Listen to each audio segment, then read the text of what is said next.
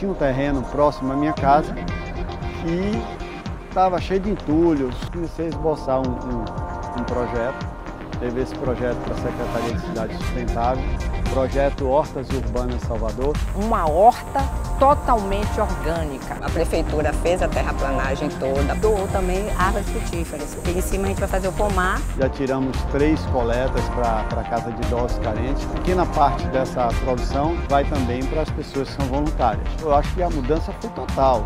E tudo isso gerou uma união muito grande aqui com o pessoal. E tem pessoas na melhor idade que vêm, eles conversam, eles, eles começam a plantar. A gente conhece muita gente, tem muitos amigos, dizer uma família, né?